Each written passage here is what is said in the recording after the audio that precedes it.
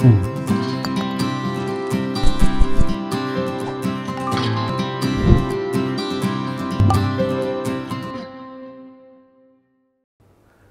back to Design Thinking and Innovation Projects Week 8. In this week, we will apply what you learned in the tools uh, to projects. Uh, the first being uh, creating personas and then creating the OI OR table. But this is also the week uh, we will do a summary of what you did and document it first through a report all the way from week 1 to 8 and a presentation of the visuals from week 1 to week 8. More of this during the presentation. So, section P8 week 8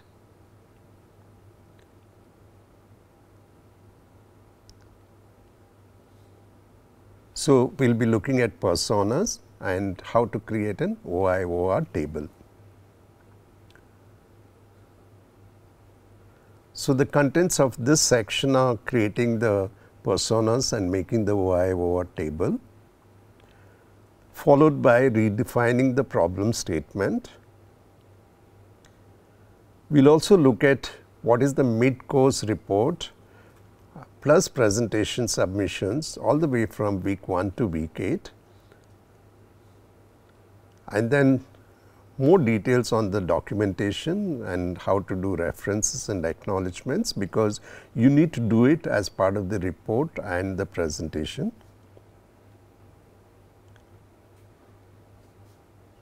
So, the project involves creating personas and OIOR table with respect to the topic that you have done and also with respect to both the secondary research and the primary research as well as the analysis that you have done till now.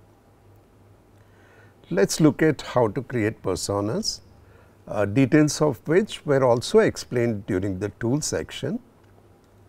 Basically, you need to create a persona to represent a typical user from your user segment, again related to your problem space.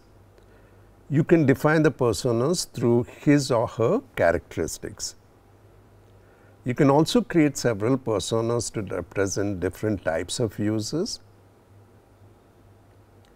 so, let us look at the step, make a list of the users connected with your topic. You can also refer to the user participant mapping that you did in week 4. Select the most important users relevant to your problem space. Write down the characteristics, the typical characteristic for each of the users. Uh, you could also draw or choose an image for the user. You could use the user to create a scenario uh, him or her doing the activity pertinent to your topic. Let us look at the OI OR table. We know that OI OR refers to O for observations, the next I for inferences, the next O for opportunities for design and the R for recommendations for design. So, we need to create an OI OR table uh, starting from observations to making inferences to finding opportunities and then to outlining the recommendations relevant for your design. This is the right stage also to redefine the problem statement. So, let us look at the steps of creating the table. You need to list the relevant observations connected with your topic, the most relevant ones. Make a list of inferences from your study make a list of the opportunities for design thrown up by the inferences and I make a list of recommendations for design based on opportunities for design. Do the above steps in form of a table and based on the table one can redefine the problem statement. And uh, if you are a bit confused there are examples shown in the tool section. Let us have a look at redefining the problem statement. Redefining the problem statement could include what is being designed, for whom it is designed, how is it designed, where is it used and which materials or process does it involve. Let us have a look at an example.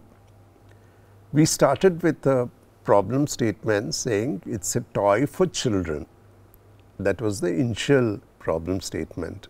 Now having done secondary research, primary research, analysis part 1, analysis part 2, you have a much better understanding of the needs for this problem space. So, you can define now the problem statement with a lot more details. So, now it could be defined as designing and engaging play and learn constructive toy that means it is for what?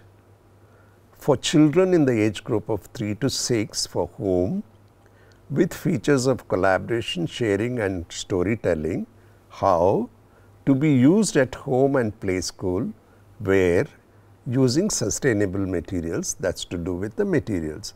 Okay. So, if you read it now designing and engaging play and learn constructive toy for children in the age group of 3 to 6 with features of collaboration, sharing and storytelling to be used both at home and play school using sustainable materials. So, if you look at it, it is a lot more detailed and it kind of looks at now a redefinition of the problem statement.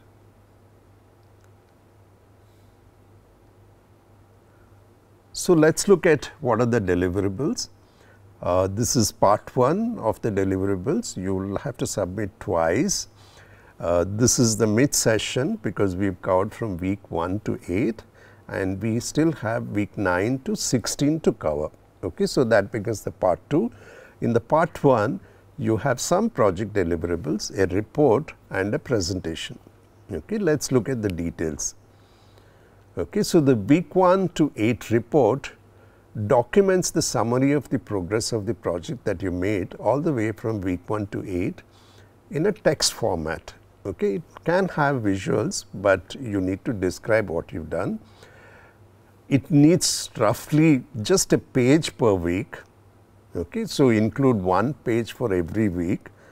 Okay. The report should be of the size A4, vertical format, uh, 11 point type line spacing should be 1.5.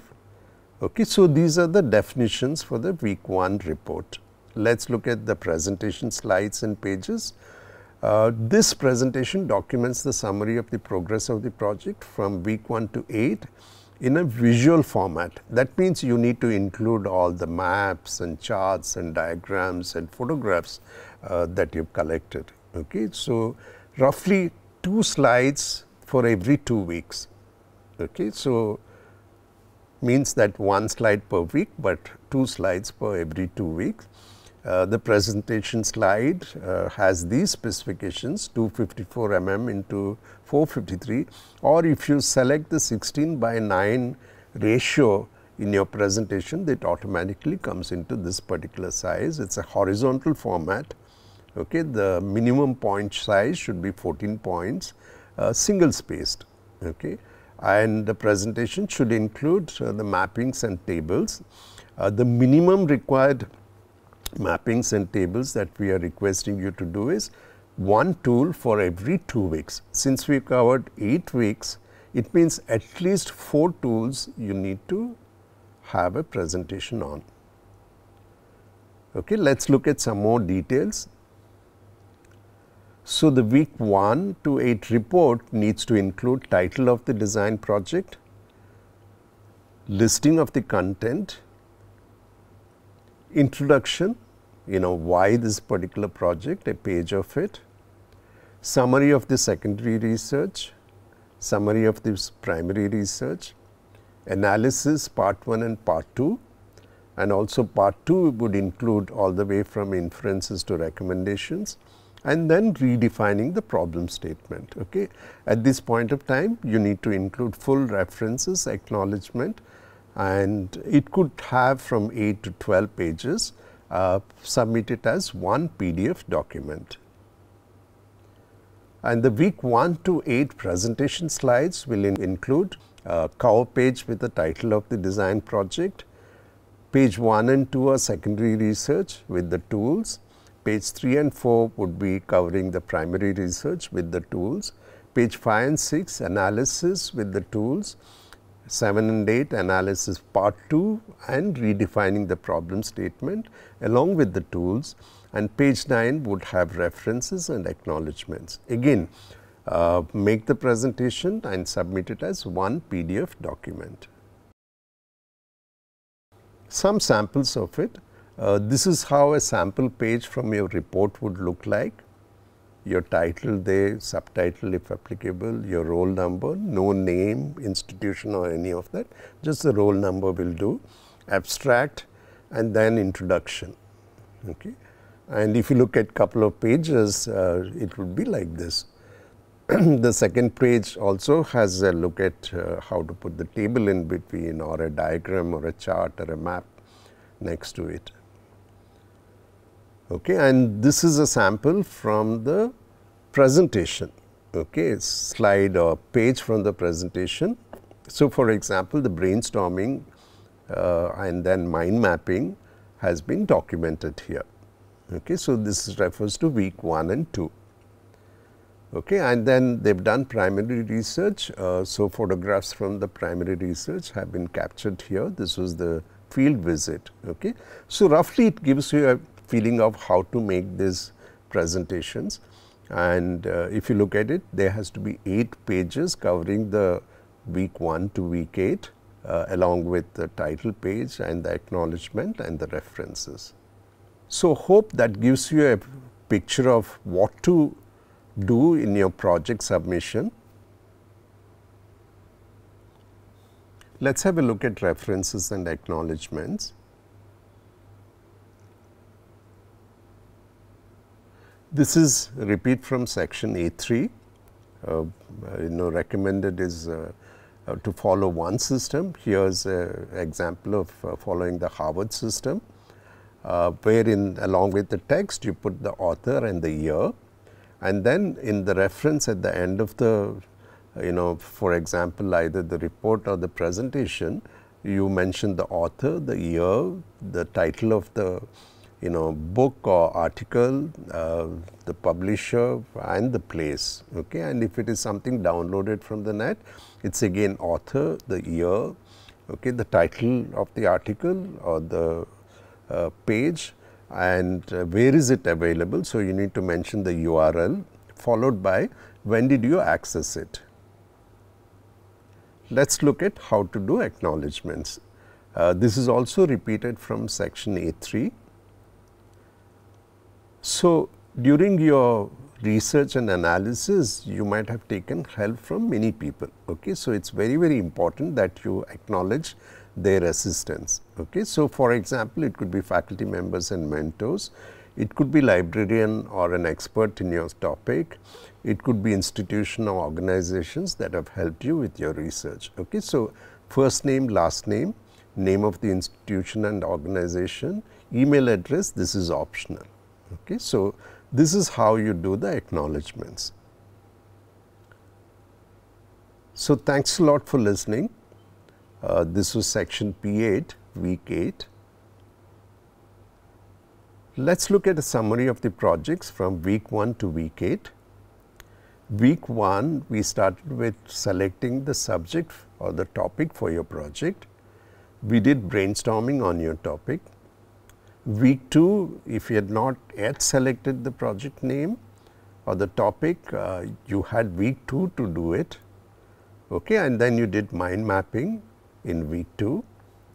Week 3, we started the secondary research part 1. We asked a lot of questions, the 5W and 1H and did a table and a matrix out of that. Week 4, we had a closer look at the users uh, that was secondary research part 2. So, you did a user participant mapping. Week 5 we started primary research part 1, uh, we did contextual inquiry.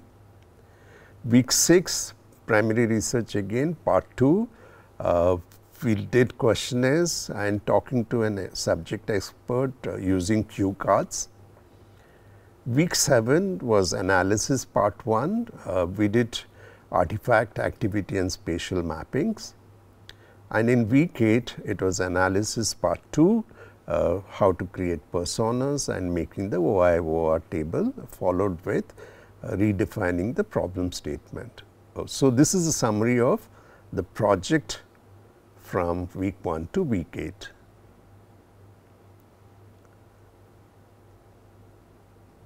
Let us do a summary of what we have done till now in week 8. We did analysis part 2 uh, with inferences to recommendations. Then we did tools, uh, personas and how to create the OI OR table. The project involved data analysis and creating personas and making the OI OR table with respect to the topic that you have chosen. Now, we will follow up with a case study, again an interesting case study about the Indian medicine system.